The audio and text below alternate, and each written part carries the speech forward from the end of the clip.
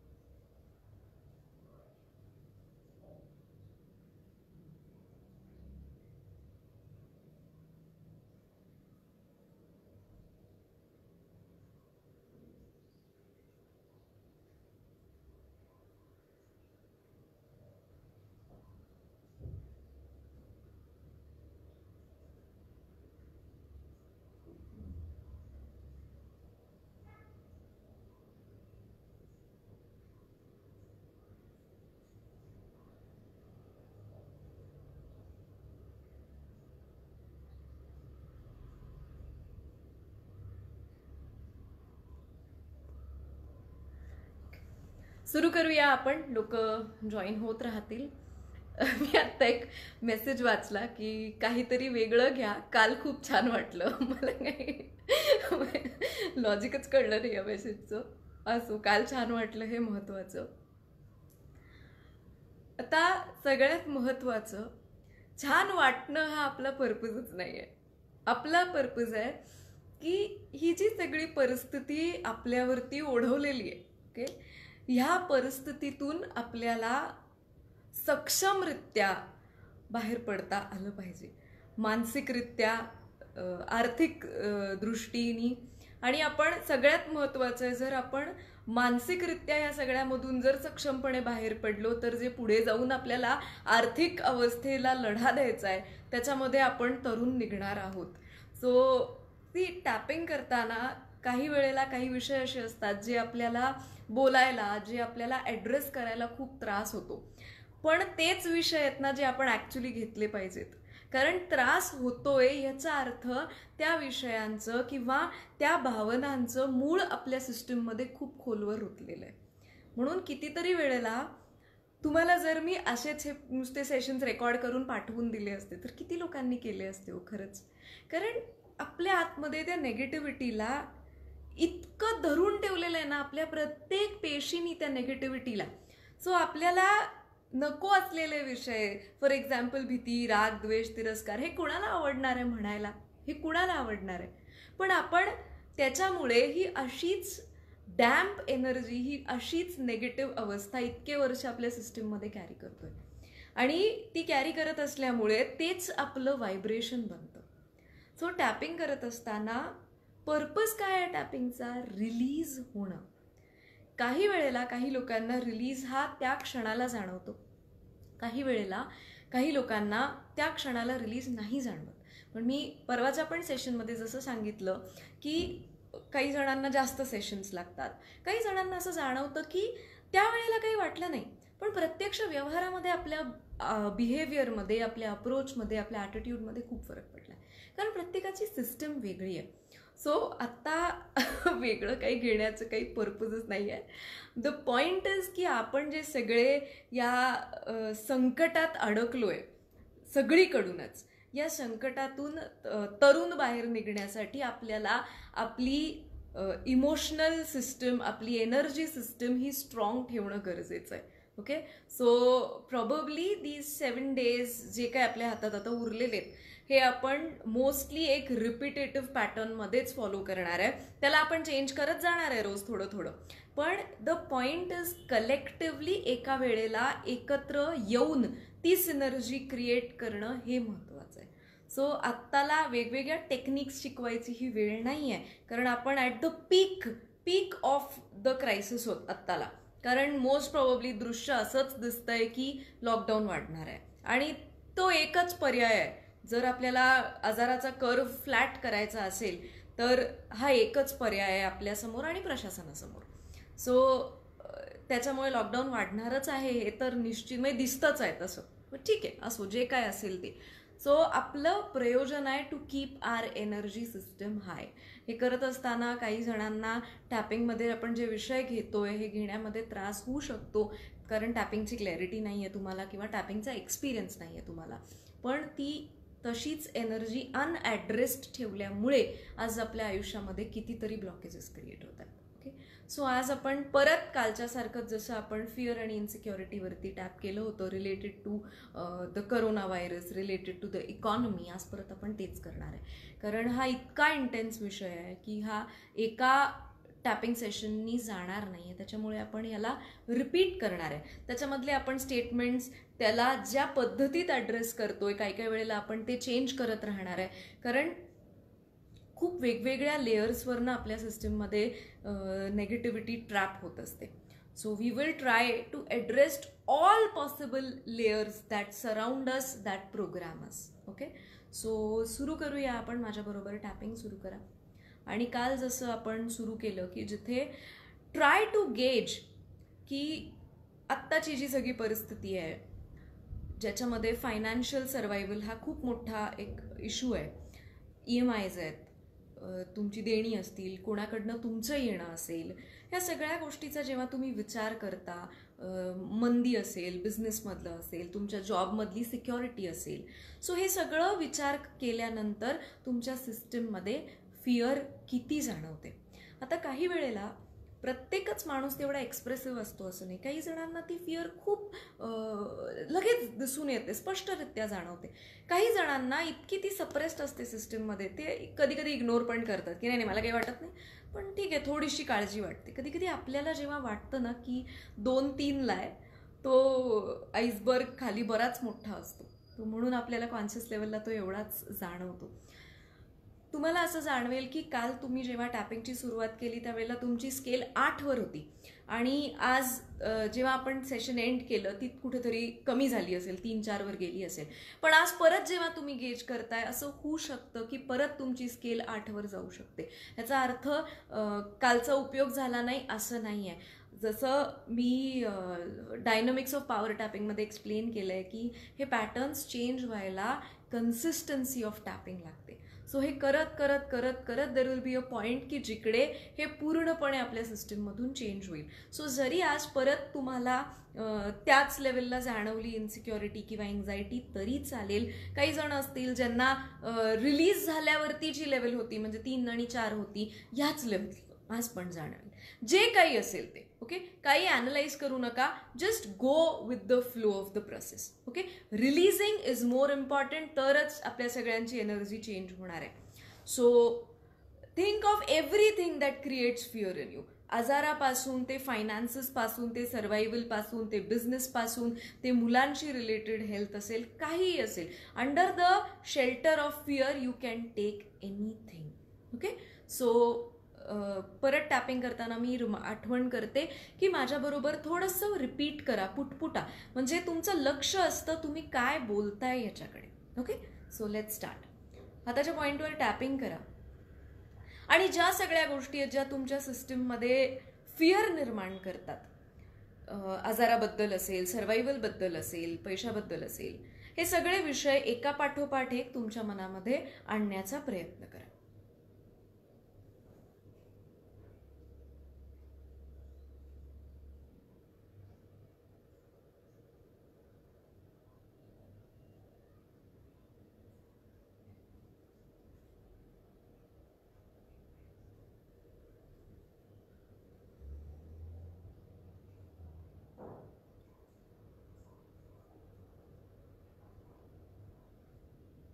Zero to टेनच्या स्केलवरती या फिअरची intensity बघण्याचा प्रयत्न करा. कलेक्टिव्ह इंटेन्सिटी की आता आपण ही फिअर ऍक्टिव्हेट केली आहे सिस्टीममध्ये सो ही ऍक्टिव्हेट केल्यानंतर फिअरची इंटेन्सिटी काय जाणवते ती गेज करा. ज्यांना आकड्यांमध्ये कळत नसेल त्यांनी भावनेमध्ये गेज केलं तरी चालेल. म्हणजे रिलीज झाल्यावरती तुमची सिस्टीम रिलीजला किती सपोर्ट करते हे तुमचं तुम्हाला कळेल.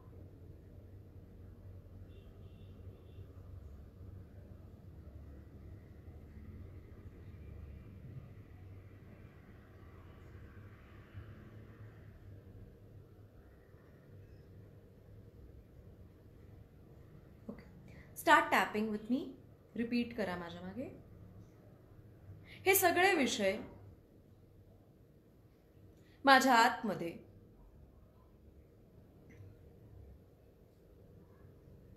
प्रचंड भीती आणि एन्झायटी निर्माण करतात.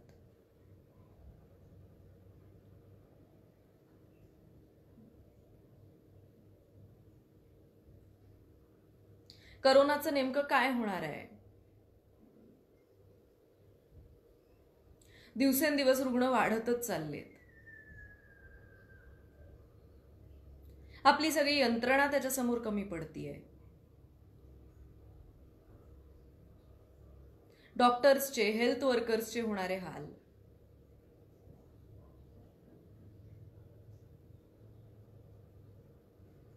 पैशाचं कसं होणार?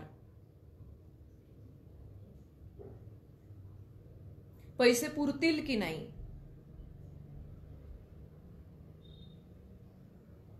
हे सगळं संपल्यानंतर जॉबची इकॉनॉमीची काय कंडिशन असेल? बिझनेसची काय कंडिशन असेल?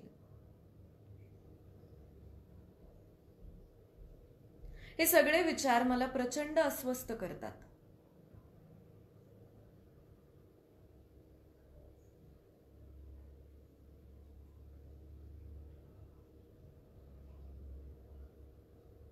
आणि माझ्या आतमध्ये प्रचंड भीती निर्माण होते.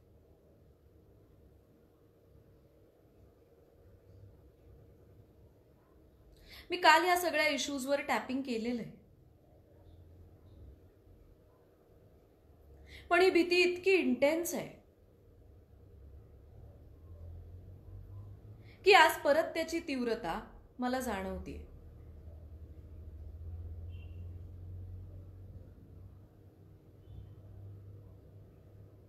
हे सगळे विचार माझ्या आतली हार्मनी डिस्टर्ब करतात.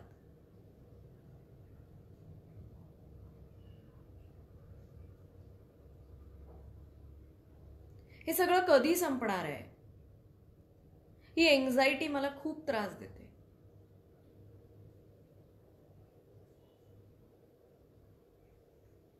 असं असलं तरी मी स्वतःला. अंतःकरणापासून स्वीकारते. निरपेक्ष प्रेम करते. क्षमा करते. आणि सततच्या या भीतीतून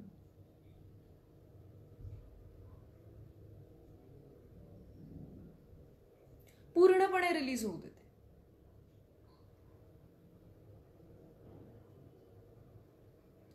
करोनाचं काय होणार आहे? वाढत्या रुग्णांची संख्या बघून मला खूप भीती वाटते.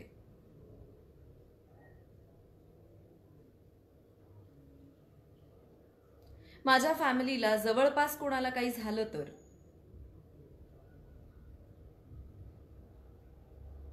हे विचार मला खूप अस्वस्थ करतात.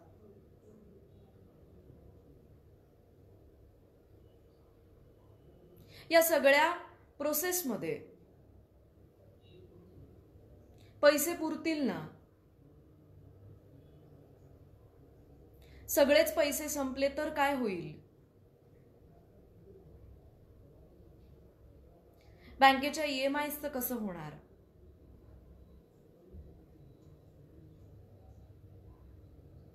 जे पैसे द्यायचे आहेत किंवा यायचे आहेत या पैशांचं काय होणार?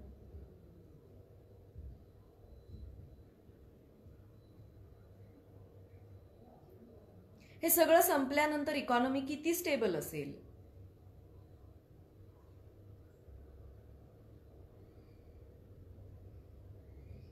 जॉबचं काय होणार?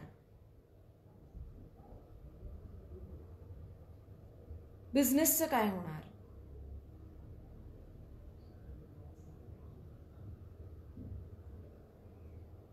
हे सगळे विचार माझ्या आतली हार्मनी डिस्टर्ब करतात.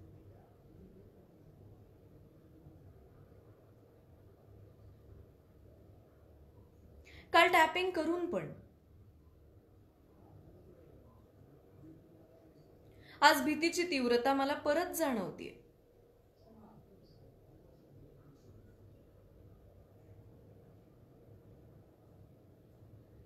असं असलं तरी. मी स्वतःला. अंतःकरणापासून स्वीकारते.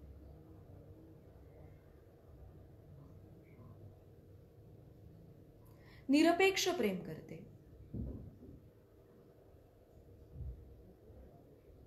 क्षमा करते.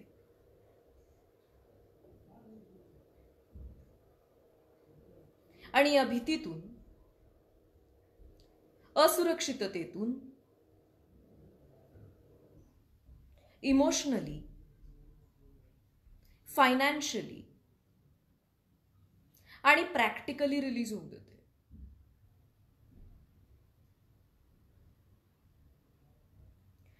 शॉर्ट टॅपिंगकडे येऊया. ही भीती. ही एन्झायटी ही प्रचंड भीती. काय होणार आहे? कसं होणार आहे? आपण यातून फायनान्शियली सर्वाईव्ह करू शकू की नाही?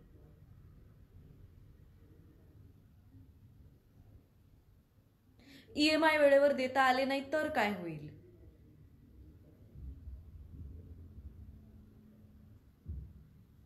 सगळे पैसेच संपून गेले तर काय होईल?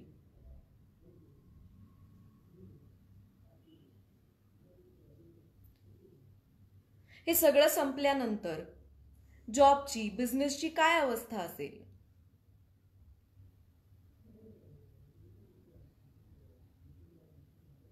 हे सगळे विचार माझ्या आतमध्ये प्रचंड अस्वास्थ्य निर्माण करतात.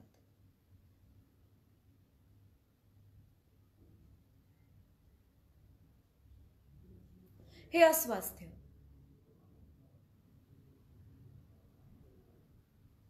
ही भीती.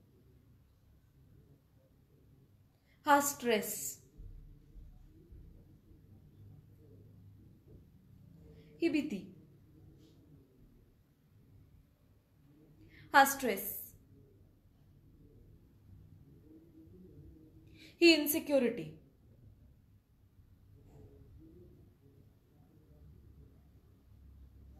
आधीच माझा पिंड भीतीचा आहे. सतत मला भीती वाटेल असुरक्षित वाटेल. असंच घडत असतं. आणि अशाच अवस्थांना मी ट्यून होते.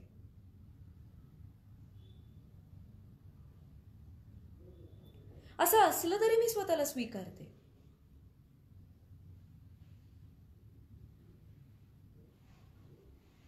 आणि या भीतीतून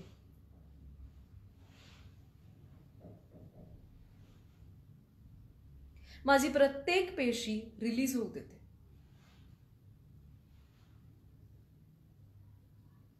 Release. Release. Release. It is safe to release this fear.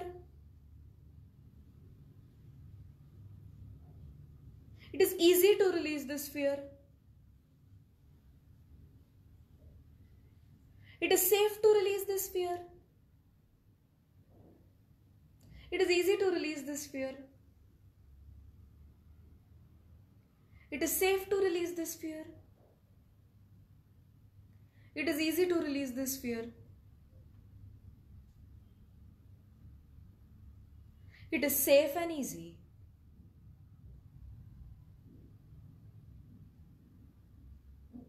I choose to feel protected and secured.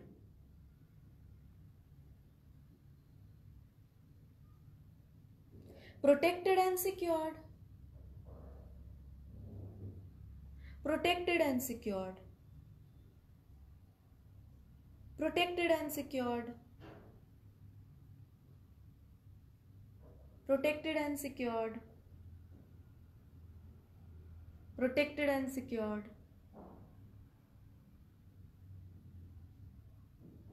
protected and secured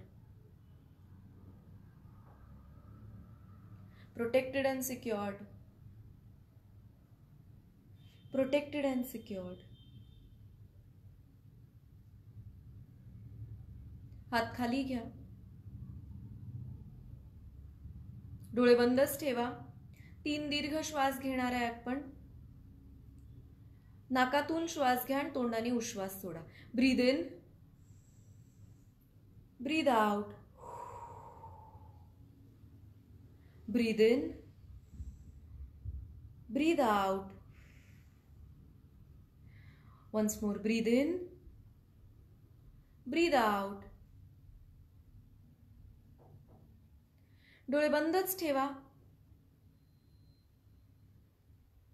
intensity gauge करण्याचा प्रयत्न करा की सुरू जेव्हा आपण केलं त्यावेळेची तुमची अवस्था आणि टॅपिंग सेशन झाल्यानंतर किती ड्रॉप झालाय बॉडीवरती तुम्हाला काय जाणवतं बघा?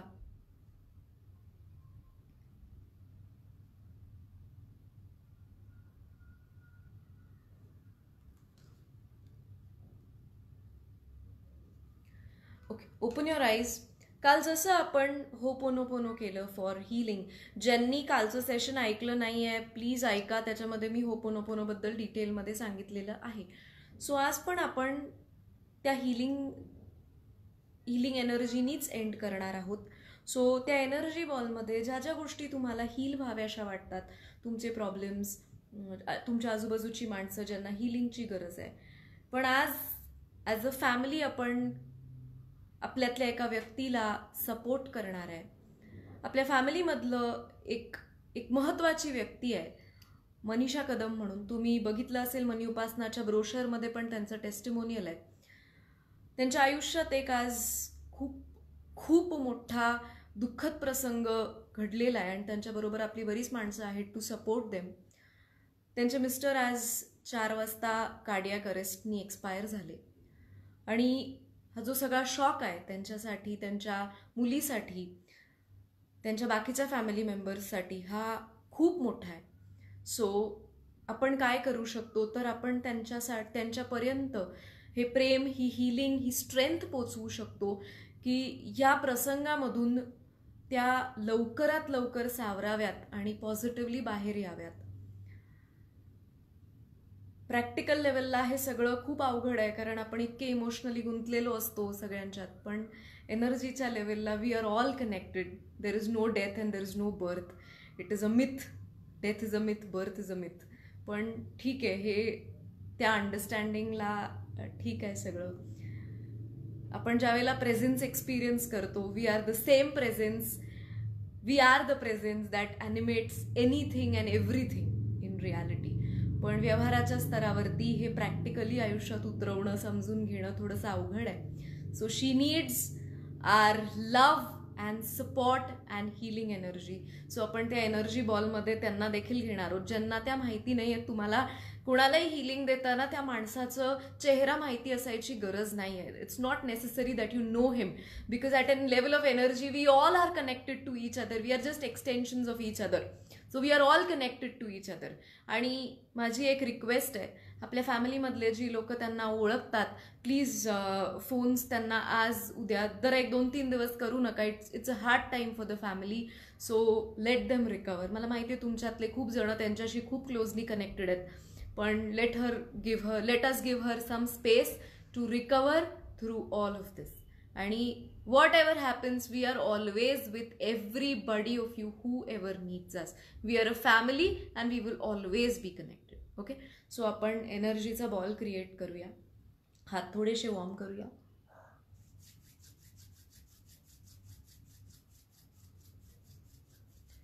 लांब जवळ हात लांब घ्या. जवळ. हाताच्या मध्ये लक्ष द्या. लांब जवळ लांब जवळ. हातामध्ये एक बॉल रोटेट करताय अशी कल्पना करा. हाताच्या मध्ये लक्ष द्या. तो एनर्जीचा बॉल थोडासा प्रेस करायचा प्रयत्न करा. Can you feel the resistance you created energy right डोळे बंद करा. आणि हसून त्या एनर्जीच्या बॉलकडे बघा प्रेमाने बघा. लख पांढऱ्या प्रकाशाचा बघा लख हिरव्या रंगाचा बघा. जो जो रंग तुम्हाला बघितल्यावरती हिलिंग जाणवतं छान वाटतं अल्टिमेट वाटतं की बास या या एनर्जीला बघितल्यावरती बास सगळं पॉसिबल आहे. असा रंग असा एनर्जीचा बॉल तुम्ही तुमच्या हातात धरलेला आहे. इतका व्हायब्रंट आहे तो. आज जगातल्या ज्या ज्या गोष्टींना एनर्जीची गरज आहे त्या सगळ्या गोष्टी त्या बॉलमध्ये आहेत अशी कल्पना करा. एक एक करून त्या बॉलमध्ये ऑब्जेक्ट्स ॲड करा. प्रेमाने ॲड करा. आपली पृथ्वी आहे हा करोनाचा व्हायरस आहे तो व्हायरस बघा. आपण स्वतः आहोत आपली फॅमिली आहे आपल्या आजूबाजूची लोक आहेत. मनीषा मॅडम आहेत त्यांची मुलगी आहे त्यांची फॅमिली आहे. आज सगळे हेल्थ वर्कर्स जे काम करतायत ते सगळे जी जी पण माणसं फील्डवर काम करतायत ह्या सगळ्या इमर्जन्सीमध्ये ती सगळी माणसं त्या बॉलमध्ये आहेत. Finance economy business job money everything is in the ball all of this needs a lot of love and healing तुम्ही एखादं लहान बाळ हातामध्ये घेतल्यावरती तुम्हाला किती आनंद होईल? किंवा एखादं गोंडस कुत्र्याचं पिल्लू हातात घेतल्यावर किती छान वाटेल? तितक्या निरागसपणे त्या बॉलकडे बघा.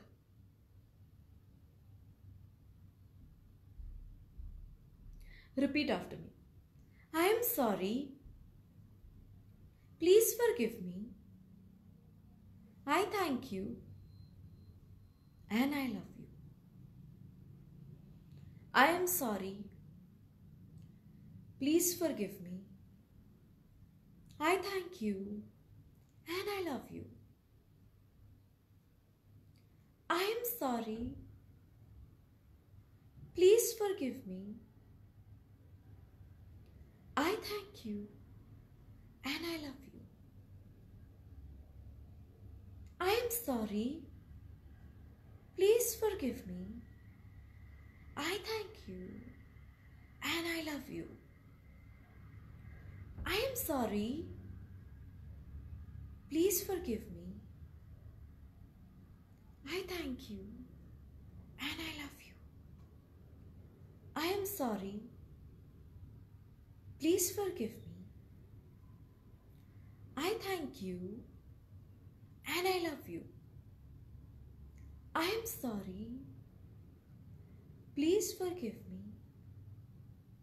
I thank you and I love you त्या बॉलमधली प्रत्येक ऑब्जेक्ट हिलिंग रिसीव्ह करतंय असं बघा. त्या सगळ्याचा कलर चेंज होत चाललाय. Everything is getting bright and full of light and everything in that ball is so happy I am sorry please forgive me I thank you and I love.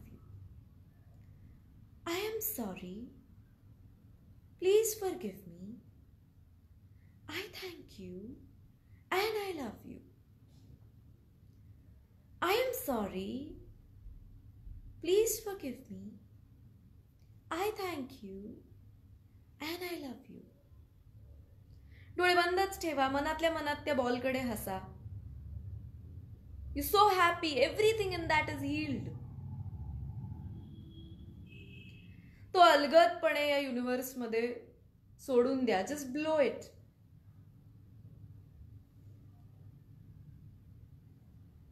हात खाली घ्या.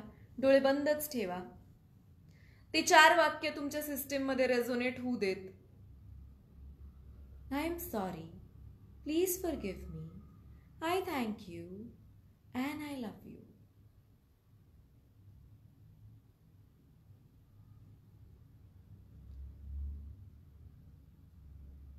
हळुवारपणे डोळे उघडूया.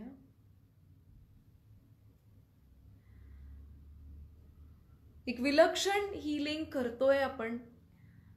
बाहेरच्या गोष्टी कदाचित आपल्या कंट्रोलमध्ये नाही आहेत पण आपल्या आतल्या गोष्टी नक्कीच आपल्या कंट्रोलमध्ये आहेत.